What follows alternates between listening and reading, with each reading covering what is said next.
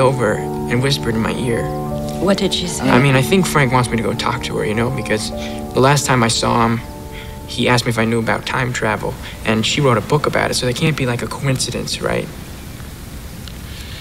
Ich meine, ich glaube, Frank will, dass ich mit dir rede, weißt du? Denn als ich ihn das letzte Mal gesehen habe, hat er mich gefragt, ob ich etwas über Zeitreisen weiß. Und sie hat ein Buch darüber geschrieben, also kann das doch kein Zufall sein, oder? Quiero decir, creo que Frank quiere que hable con ella, ¿sabes?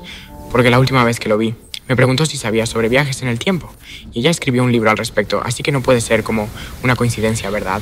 Chodzi mi o to, że Frank chce, żebym z nią porozmawiał, wiesz? Bo ostatnim razem, gdy go widziałem, zapytał mnie, czy wiem coś o podróżach w czasie.